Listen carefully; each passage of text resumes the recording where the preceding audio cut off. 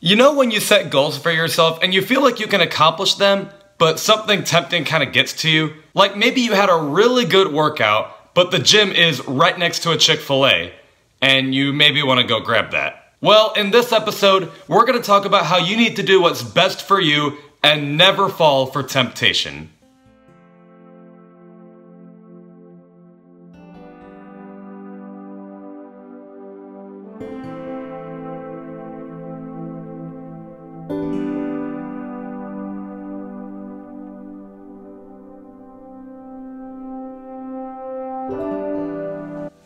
So, I have a question for you guys, and not to toot my own horn, but when I thought of this question, I really, really loved it. But it's if you feel regret every time you fall for temptation, what makes you keep doing it?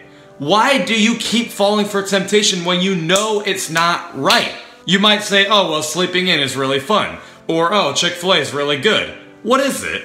Now, don't be hard on yourself. I literally just noted some things that I fell for, but I guess I'm making this episode because I want to start doing what's best for me. And whatever helps me out to not fall for temptation, I hope can also help you out. And these are my three tips on how to never fall for temptation.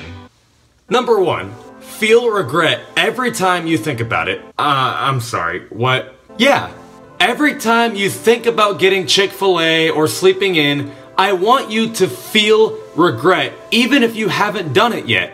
I want you to feel that same feeling you felt when you did fall for temptation. It sounds crazy, I know, but all it's doing is making you look at Chick fil A or your bed like, sorry, not today. Number two, have a reminder somewhere near you at all times saying, get the dream done. Type it out and make it your lock screen on your phone, or make an iPhone case with it saying, get the dream done have a reminder on your phone, just whatever that reminds you to get the dream done. Because if you have that typed out and you look at it and you're not getting the dream done, you're gonna feel pretty stupid. But if you look at it and you are getting the dream done, it feels so good. And number three, don't feel bad when saying no. I get it. Your friends want to hang out, it sounds like a lot of fun, but you have a lot of work to do at the same time, so you have to tell them, no, I can't hang out. It stinks. It's almost embarrassing. But when you're with your friends, the fun usually lasts for a day. You know what happens when you get your dream accomplished? The fun lasts for a lifetime. So would you rather have lifetime fun or a day fun? It's up to you. But don't feel bad when saying no to anything, and plus, your friends are probably gonna know why you said no anyway.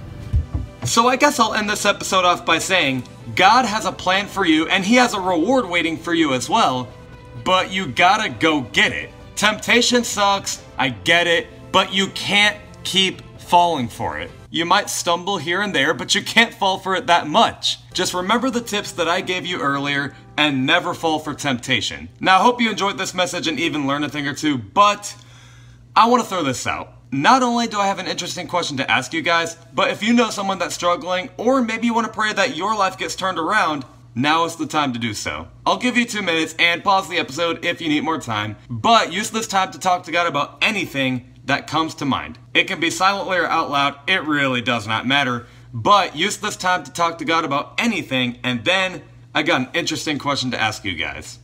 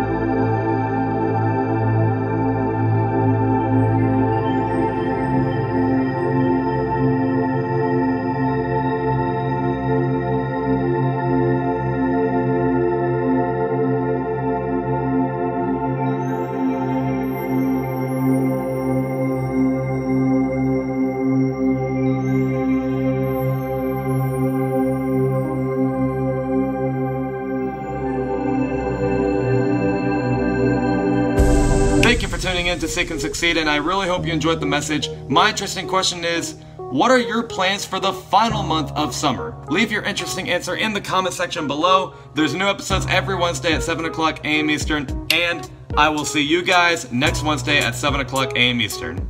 God bless.